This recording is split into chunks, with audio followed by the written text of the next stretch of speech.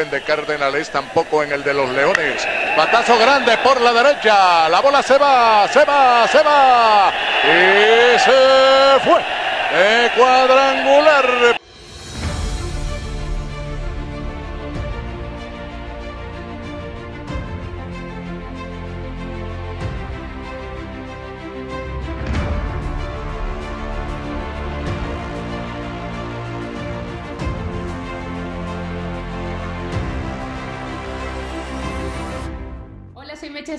Un gusto saludarles por aquí. Los invito a que se suscriban porque además es gratis al canal de YouTube de Beat Writer.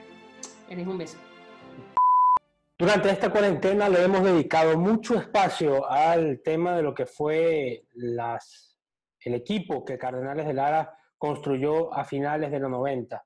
No es para menos, fue un gran equipo el que organizó en aquel momento la gerencia crepuscular y entre ellos hubo jugadores que hoy son leyendas, incluso miembros del Salón de la Fama, como en el caso del fallecido lanzador Roy Halladay, entre otros que, por ejemplo, lograron una serie mundial en rol protagónico, como Luis Ojo, Kelvin Escobar, que llegó a ganar 19 partidos en las grandes ligas, y así con otra lista de jugadores, no quiero mencionarlos a todos porque quizás se me olvide alguno, pero en medio de todas estas entrevistas especiales que hemos realizado. La verdad que me, han escrito muchísimo para que pudiera dar con una de esas grandes figuras que trajo Cardenales de Lara a finales de los 90, incluso al principio de esa década, y que fueron parte importante de los tres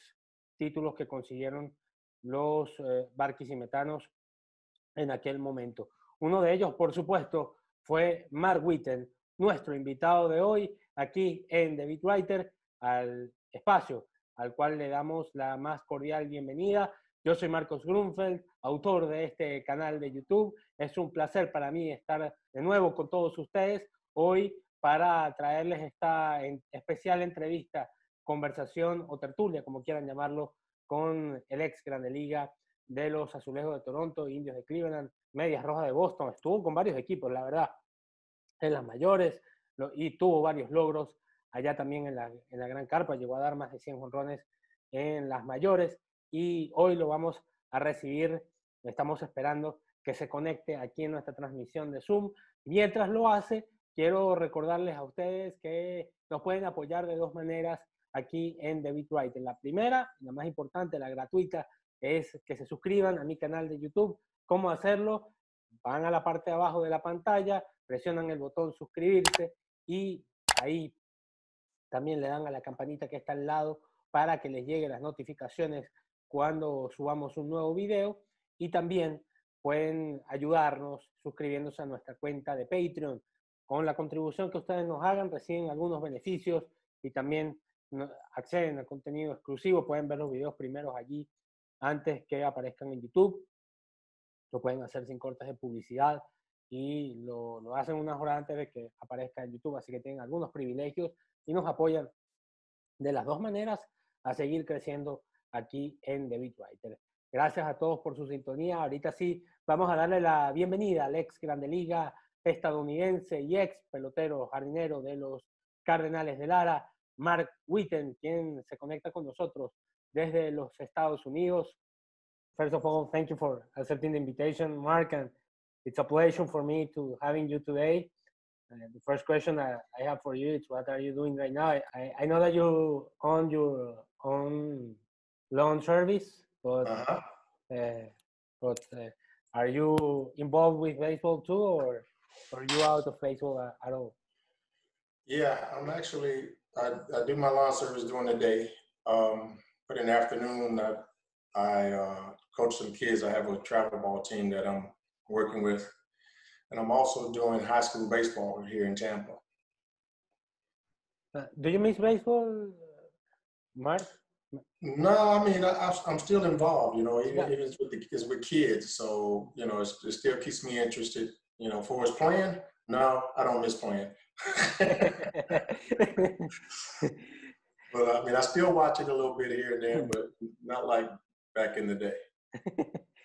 Mark, uh, I, I told you that a lot of people remember you very well, well here in Venezuela. What what that meant for you that the people still remembers you? Uh, it was it was good times back then, and I really enjoyed playing in Venezuela. Uh, you know, we brought a lot of championships there when I played there, and uh, and just the fans in general were great. You know, that's that's what I miss about it more so than anything is just the fans and how excited they are when we play during the winter. You know, and uh, it was just a good time all around. Do you came to Venezuela to visit after you play baseball, or you don't came at all? No, I haven't been there since I played baseball. I mean, I'd love to, but you know, right now it's kind of hard. yeah, yeah. how, how was the how was your idea to come to Venezuela to play? I know that Toronto have a, a deal with the Cardenales de Lara, but uh, how that idea come to you to come to came here to Venezuela to play baseball at first? The, the first time was in the 1998. 89, I believe. Yeah, 90. 89, yeah. 89, right. 89. It, it was, uh, you know, it was just basically through the Blue Jays and the deal that they had. But, you know, and it turned out to work out great for me because it gave me a lot more chance chance to play baseball during the winter.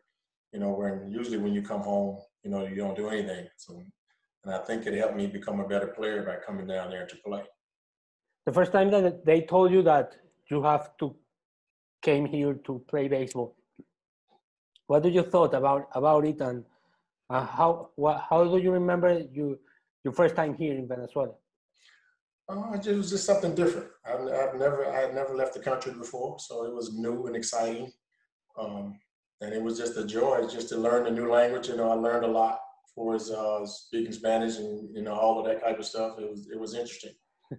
You know, I had, to, I had, to, learn how to count. I had to learn how to count the bolivares, uh, all of it. You know, it was it was fun. Do you speak Spanish or? I, I speak a little bit. I can I can, I can get my point across. Do you remember your first trip to Venezuela? How was that, and what do you thought when you arrived to Venezuela to Barquisimeto? No, I mean I'm I'm a real low key guy, so I didn't really think much of it. It was just a different culture. It's just something that you have to get used to. You know, like just like if you were to come when you come to the states, you had to get used to being around different people, different different cultures. So that's all it was. You know, when, when you arrived to Venezuela and, and you see uh, and you saw sorry uh, Rich Hill, uh, um, sorry Glenallen Hill, um, Derek Bell, Tony Castillo, and those guys that play with you in, in Toronto, uh, that that that uh, make it easier or I mean, it makes it easier. You know, even even the guys that were from Venezuela, they played in Toronto too. You know, like yeah. Sojo and Robert Perez. A lot of those guys, I know a lot of those guys as well. So it's, it's always easy when uh, you know you have friends and people that you've been around to to kind of help you out and you kind of grow together. I read that you have a, a great friendship with Derek Bell. That uh, you you came here together. Uh, uh it was a, a plan together to came here to Venezuela.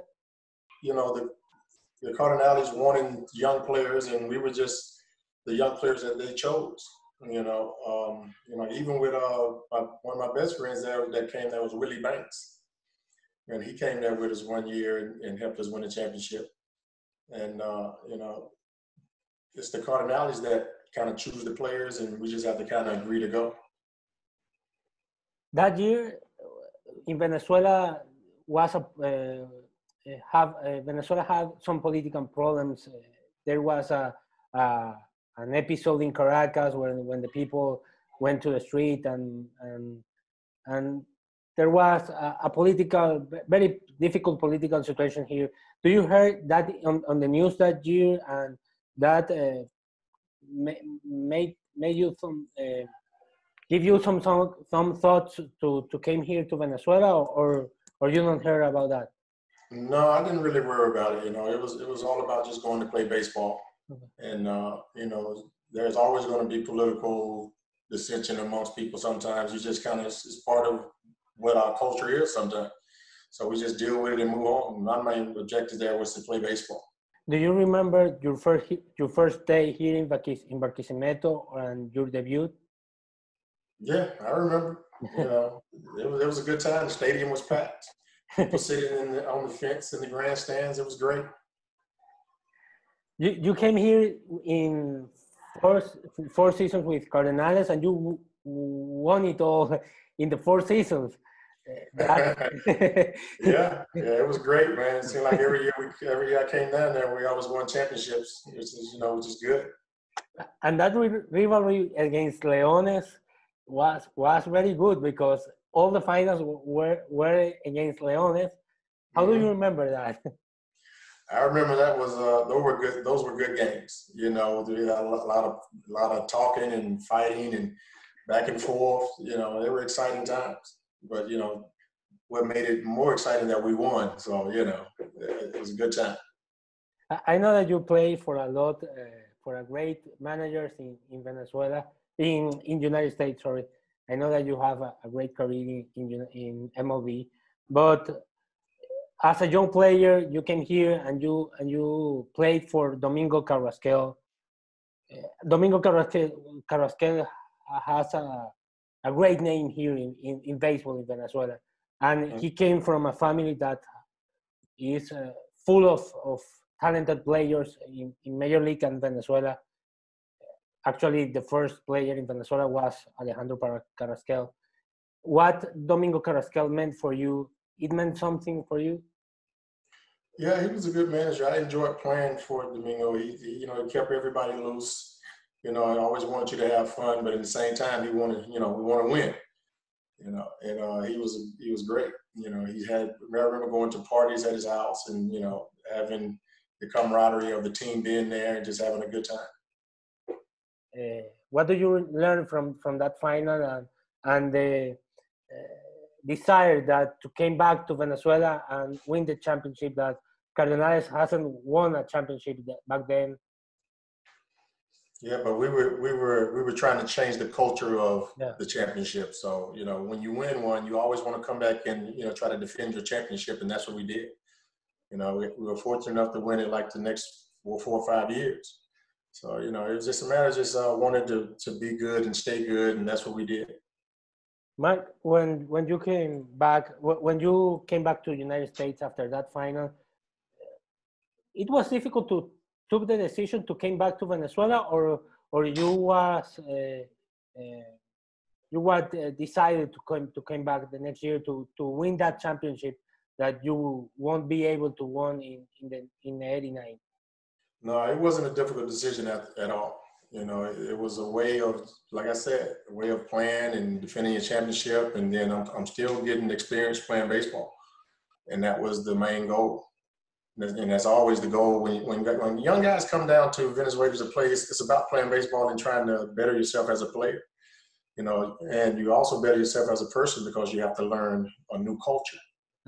And when you came back, what do, what do you remember from that second season and, and the final with with Leones again and and finally took the championship?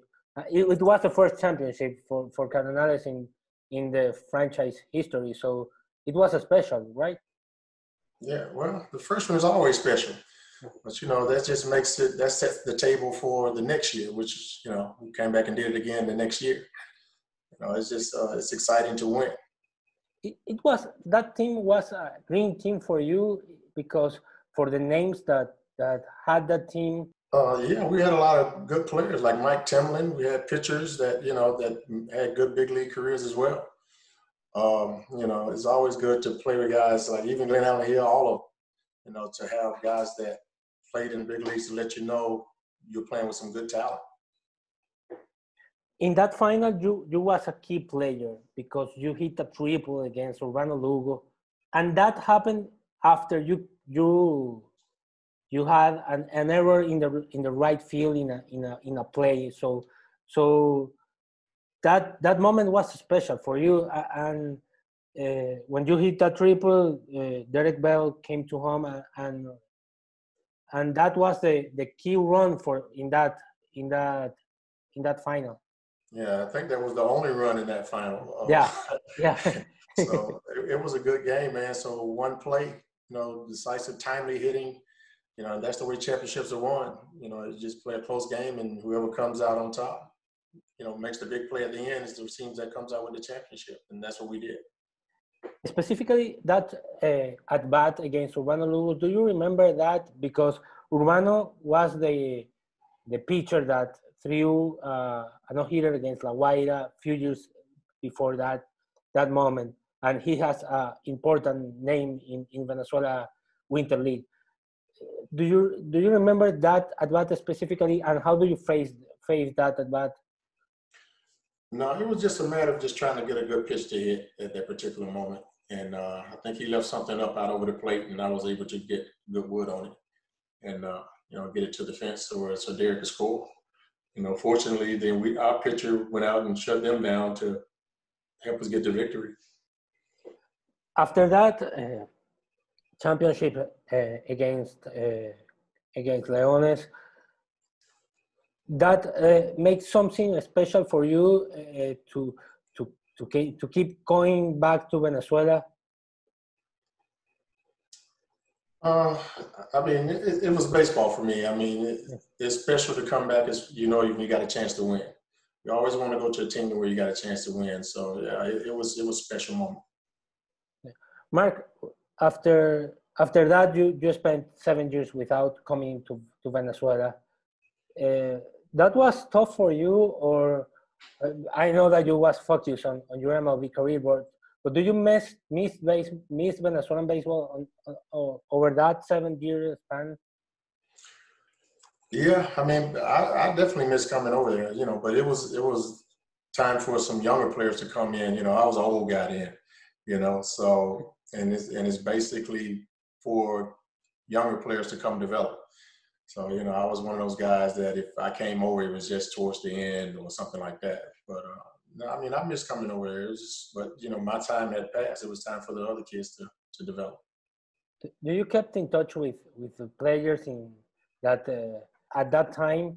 Uh, and, and and do you have the knowledge of what is going on in, in Cardenales over over the few years later after that championship? No, I, I really didn't keep track of it. You know, it was like if I wasn't over there, I didn't keep track. But I, there are still people that I knew that was there. They, you know, send me messages about it, and you know, it was always joy to hear that they were doing well. And when you finally uh, was able to to maintain your MLB career, you you have a couple of, of, of important days of important days in your career. The first day was when when you hit the four home runs, I, I, I think that it was the most special day on, on your career. Yeah, a very special day. you know, that, that isn't something that everybody does, you know. Uh, I was just fortunate to to be one of the guys that accomplished that feat.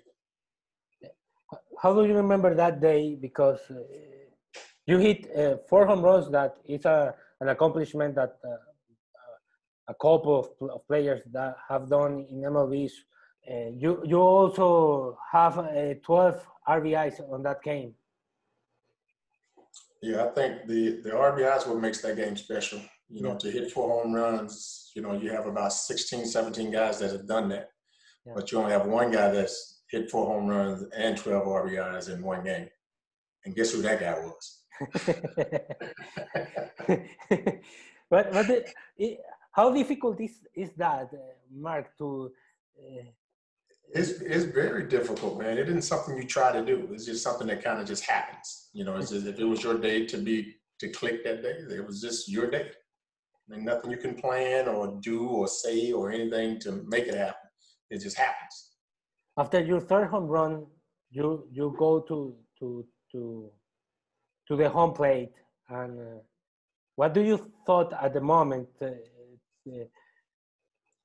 I was just, it's just, uh, I didn't try to hit the first three, so I didn't try to hit the fourth one either. It's just a matter of just making good swings and getting good contact, and that's what happened. You know, even the bat boy asked me, was I going to try to hit another home run? I said, well, I didn't try to hit the first three, so why should I? and uh, it was, I was just fortunate enough to make a good swing and, and hit the fourth home run. The other accomplishment that I found about your career was when you was called to pitch in a game in, in, with with Cleveland. Uh, how was that day for you? You you you was a pitcher any time in your in your career before that? Well, I pitched in college a little bit, Okay. but uh, I hadn't pitched since college. So you know that was uh, that was just a situation where we had played an extra inning game. Yeah. Uh, the day before, and when the pitching was slim, we were getting blown out. So was trying to save our, our, our bullpen and pitching staff. So I was able to go out and try to get three outs. You you you. It was difficult because you you hit a player, you you give a base on balls, and and, and the bases were were lower, but you uh, was able to strike out the side uh, just with with one run against you. Uh, Yeah. All right. They, they, they, they swung and missed a couple times. That's all I can say. You know. You know. After that, I couldn't pick up a ball for about a week. So it, it didn't it isn't easy to get on that mound to pitch now. It's just a matter of you. It's something you got to train for. Mark, uh, it was difficult to play for for so many teams, or, or it was a it was or you or, or you enjoy it. No, I enjoyed it. You know, you always go out. It's, it's baseball, and if you enjoy playing baseball, it doesn't matter who you play for. You know, and I enjoy playing. Which city do you enjoy the most in MLB? Well, I say I, I bet the teams I played for with the Cardinals and with the Indians, you know, where I played the most, and I was there the longest period of time. So I would have to say the Cardinals and the Indians. It it was the, the same ex, excitement. For, I, I'm talking about the atmosphere in in MLB, like Venezuela. No, it's it's there's different. It's different atmosphere. It's very different atmosphere. The the Venezuelan league, the is is their major league. You know what I'm saying? So Yeah. their atmosphere is different than the atmosphere in the in the states, and uh, it's just a different culture and atmospheres. I think in Venezuela the, the atmosphere is more exciting than it is in the states at times. I think it's like that all the time in Venezuela, and the U.S. is not like that all the time. Do, do you feel something uh, closer to to the atmosphere, uh, like uh, a Cardenales Leones game, uh, maybe San Luis Cop Cops games or something like that? No, it's, it's, I think the atmosphere is just overall better in Venezuela. you know, I don't think nothing can compare to it. And that inspired you to to play better in in in, in baseball in general. That that Yeah, kind some, of some, sometimes it does, but you know, it's, it's, when you're playing baseball, you just got to be focused. You can't really hear a lot of that. You, Okay. you know, you just got to try to stay focused. Uh, after that seven year span that that you don't play in Venezuela. How do you decide to came back after seven years? I think in, in 1997. hmm Uh, just I just needed to play more baseball, and it was at a time, you know, because I wasn't playing every day anymore. So I just needed to try to stay active and play more baseball, and the opportunity came for me to come. So so I did. When you came back, do you remember how the, the, the fans received you in, in Venezuela, in Barquisimeto? How, It was great, man. They gave me a standing ovation. so you know, even though I was with a different team, they they still remembered me. You know, all the good stuff that I done for the Cardinals. that team was better, right? That the first Cardinals that you that you that you uh, that you went uh, that you went to play with. Uh, I mean, all the teams I played there were pretty good. So I can't say one was better than the other. You know, it's just a matter of just you know playing together. But when you when you uh, see back then that you play with uh, Luis Sojo, Roy Halladay, uh, rest in peace, and that kind of players, Tony Castillo, that also make a great career in, in MLB. What Mhm. that meant for you? Uh, it was great. You know, just to get to play, like I said, just to get to play with players that you know weren't in the big leagues at the time, but had good big league careers. So it was great to be, play with guys like that. There is a specific a specific uh, game that you remember the most down here in Venezuela. Uh, no specific game, but I remember a couple specific fights that we had. I, I, I will I will ask you about that.